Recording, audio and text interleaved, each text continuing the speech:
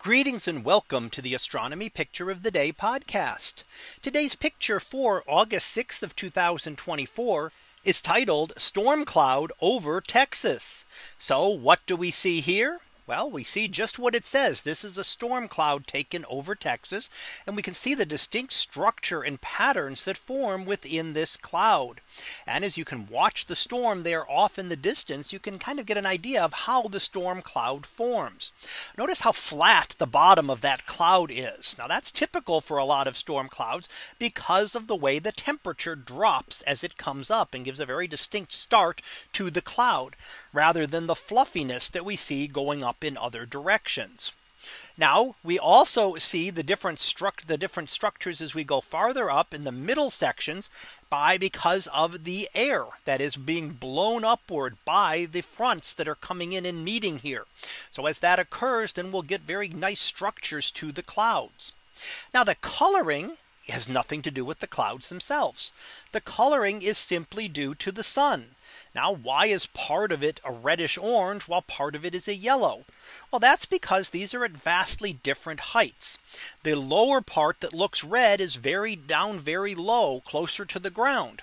And therefore it sees the sun as setting. So the sun is very low in the sky. And we know when we see the sun low in the sky, it appears reddish orange. That's because the atmosphere will scatter out the blue light, the shorter wavelengths, and therefore will make the sun setting appear a red color. So this is reflecting the light of the setting sun off there. Now up higher, the sun is appears higher in the sky. So the higher you get up, you can see around the curvature of Earth, and therefore you can see higher in the sky. So from an observer in the upper portions of this cloud, much higher in the atmosphere, you would then see around the Earth's curvature and would see the sun higher in the sky. So it's not quite as set and it's not appearing quite as red orange yet.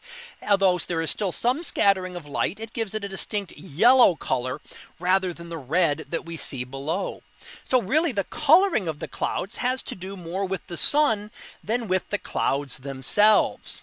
Now, of course, clouds exist on other planets in our solar system as well. And in fact, any other planet with an atmosphere, any significant atmosphere will have clouds.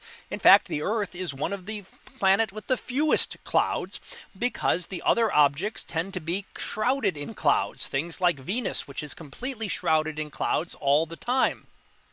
The outer planets which have clouds are again completely shrouded in clouds. They have completely cloudy atmospheres, meaning that you could never see down below a certain level.